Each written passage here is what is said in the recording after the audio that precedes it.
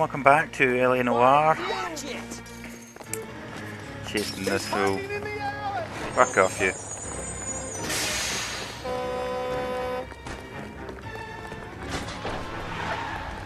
Bowers! This guy hold can bolt. Right. Stop now or I will shoot. I won't tell you again, Wendell. Jesus, Dunn. Watch your fire.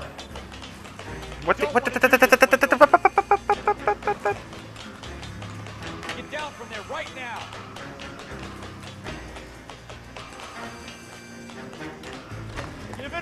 it. Stay the hell away from me.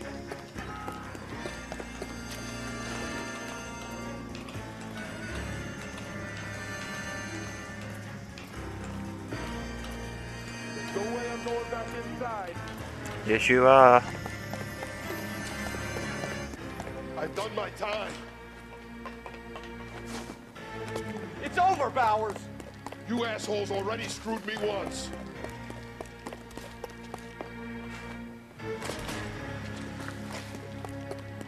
Give it up, Bowers. There's nowhere left to go. Ah! Oh, did you- Looks like we've got the place to ourselves. oh yes, come on, man.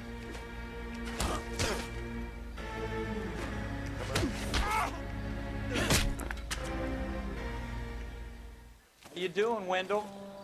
Your parole officer's feeling lonely. He's got a hole in his life for an asshole like you. You can make it up to him in 10 years' time. Watch your head. This hump will be back in the Iron Hotel by tomorrow night. Nice work, Cole. You run track in high school? Nope, I'm just amazing.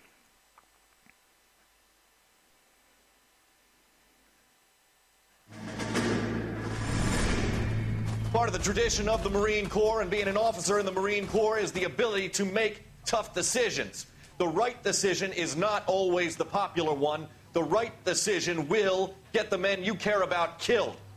These ratings and your ability to give them frankly and truthfully directly affect your chances of successfully becoming a Marine officer. Candidate Phelps, you have the floor. Esprit de Corps, Merrill, 10. Franklin, 8. Weiss, 8. Donahoe, 6. Kowalski, 6. Hudson, 5. Kelso, 2. Leadership, Donahoe, 8. Franklin, 7. Merrill, 6. Kowalski, 6. Weiss, 5. Hudson, 5. Kelso, 1. Oh, Candidate Kelso, I'm sorry, Captain, but I joined the Marine Corps to fight the enemy, not get involved in this schoolboy chicken shit. Kelso, in my office, now! I could not be in the army. Not at all. Not even close. I thought about it a couple of times. Like, I like the idea of like discipline and structure and you know manners and stuff. But every cop, there's the case that makes you. Gives you that leg up. Gets you recognized as the shining new star in the squad. The case that you solve that shows that you have the gumption, the gung-ho, the get up and go to make you stand out from your average rank and file patrolman. This could be the one. I don't know if I think I've used the word gumption.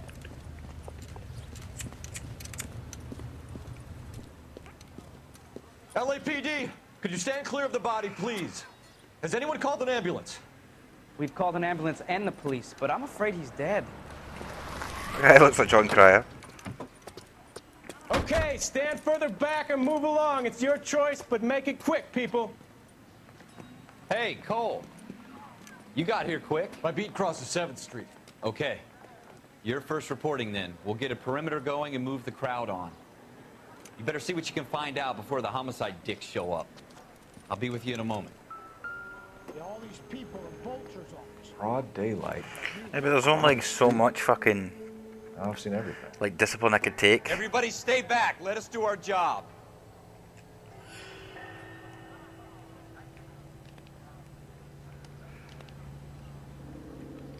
Am I supposed to have found something here?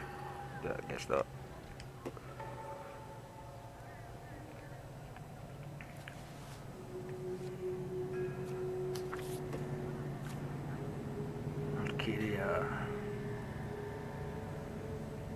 quid, five quid, two fifty.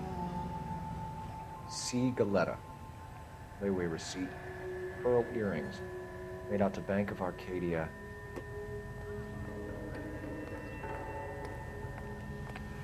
Mm-hmm.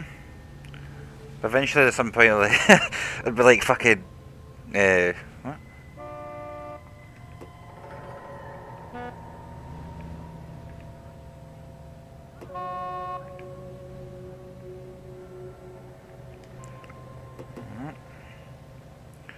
see what can I. Yeah, there we go. Real happiness is when you marry a woman for What? Later, find out she's got some money.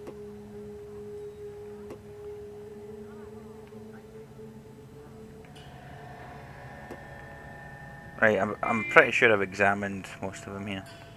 I feel like he's got a top pocket. I should have. What can I out there? So I'll pick there, there, All right, all there, right. Yes, head, it's a dead person. right. Can I go up a bit? Bit? Ah, it's back to his face again. Alright. Boom.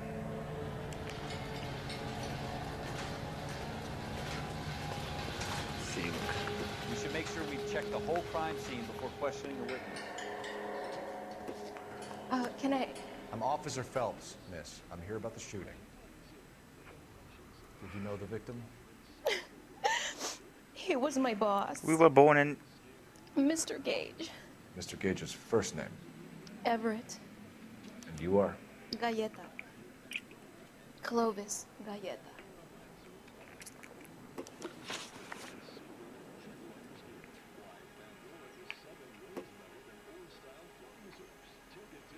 Twenty-seven.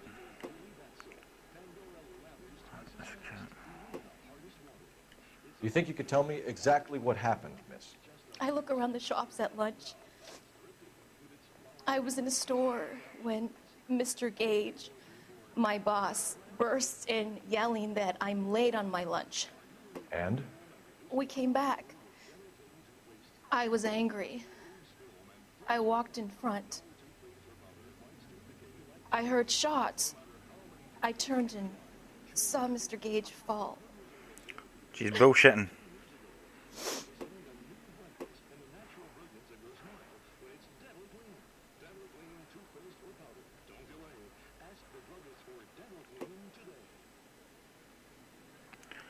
Uh, fuck it. You're lying, Miss Galletta. You know what happened and why. You're going to tell me. There's nothing to tell. I've done nothing wrong. How can you prove different? Because the fucking thing is. Here we go.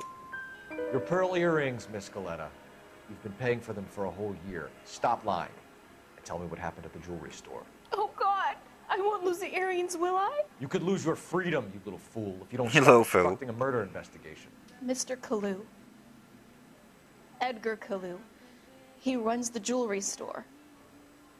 He's showing me a lovely watch. Mr. Gage bursts in. Mr. Kalou gets very angry with Mr. Gage, and they start yelling at each other. Mr. Gage tells me that all of the things in the store are junk, nickel plated, made in Japan, and yells at me to get back to work. Then what happened? We get back here, and I hear a loud bang. Mr. Gage clutches at his back. I hear another bang, and another, and another. Mr. Gage falls to his knees. It looked very painful. Smack this bitch. Which jewelry store? Hartfield's. Broadway between 5th and 6th. Did you see the person who shot Mr. Gage? Of course I did. Mr. Kalou looked very angry. He kept firing the gun. He kept pulling the trigger.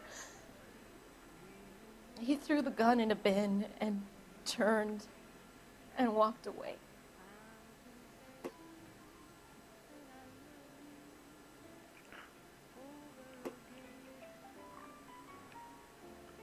Well, I'm assuming it's telling me to do that too. You're making me angry, Miss Galletta. Is that what you want? Tell me why Mr. Kalou shot Mr. Gage. Mr. Gage hates Jews. A lot of people do. It's not my fault if he has nice things. How many shots did you hear, Miss Galletta? It's difficult to remember. It sounded like there were so many, and they were so loud.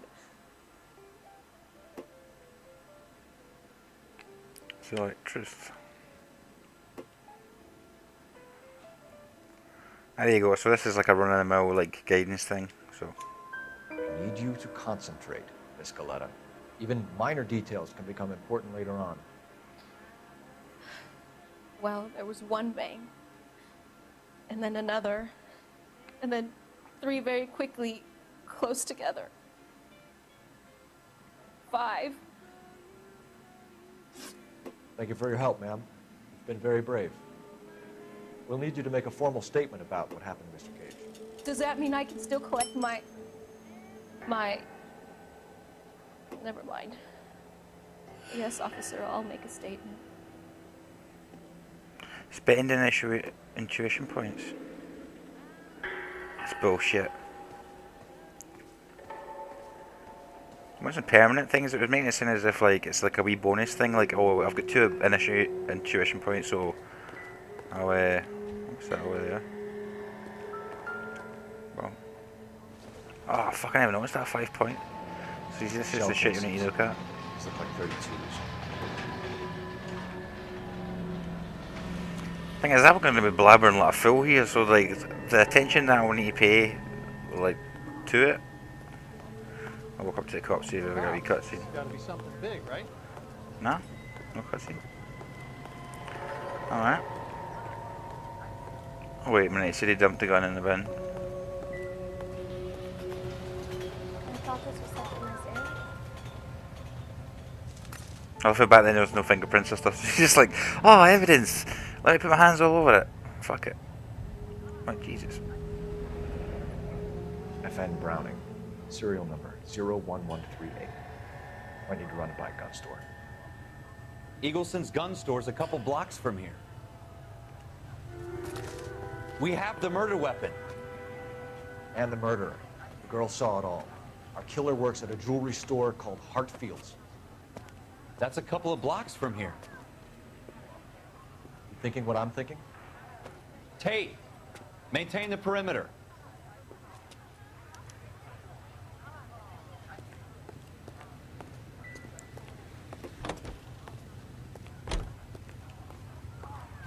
For fuck's sake. Get in the car, dumbass. Hey, real happiness is when you marry a woman for love. Later find out she's got some money. Motherfucker, you are missing my shot. There we go.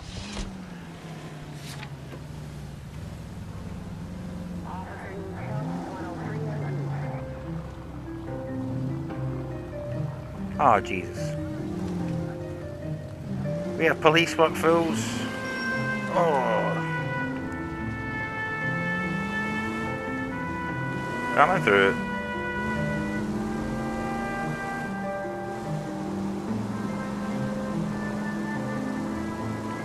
I was reading up on like uh, like rates as far as like getting uh, the stop and search and then oh shit, the fuck at the road. And then I was reading up on like getting pulled over the police and what rights you have. And I'm telling you, see all the government shit, waste of time. It doesn't tell you.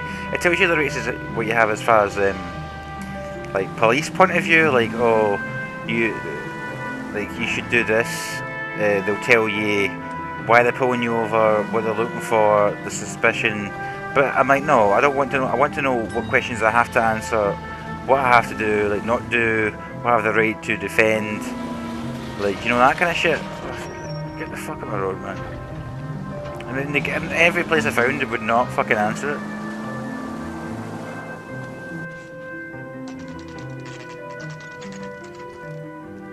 And I was watching this video, and like somebody was saying, I seen the wings liked it.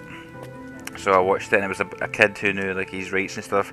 And this policeman pulled over at a DUI checkpoint, and uh, some guy wrote in the comments, "Oh, this guy's been a Can I tool." interest you in a new watch? Why you fucking answer some questions, Officer mate? Cole Phelps, are you Edgar Kalou? Uh, no. Uh, Mr. Cole. Oh, I recognize that guy. back. He said he'd lie down. I'll buzz him for you.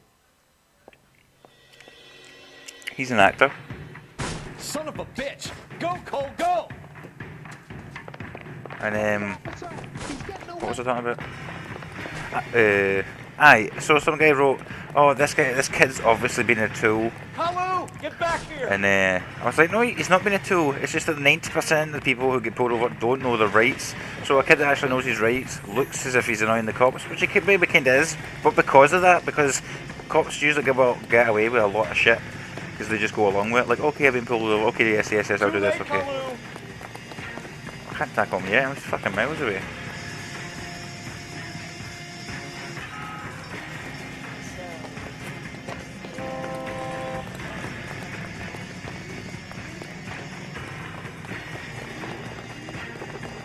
Don't make it worse, Kalou! The guy's a fucking bomber. Look.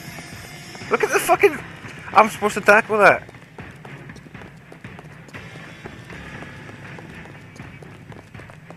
Maybe the guy should have ran fucking track. I said X to tackle. Tackle? Okay. Edgar Kalou, you're under arrest for the murder of Everett Gage.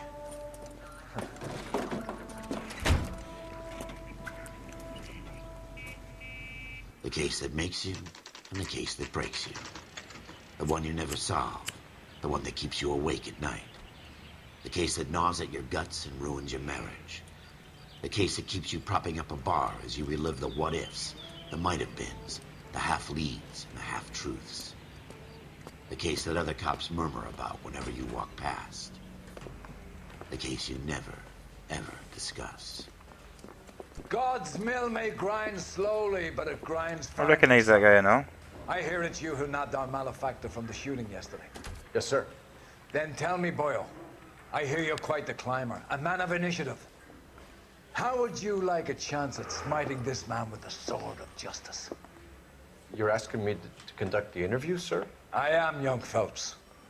You've only been with us a short time and you've assembled yourself a stellar arrest record. Not to mention the fine work you did in the war, sending heathens back to the hell they came from.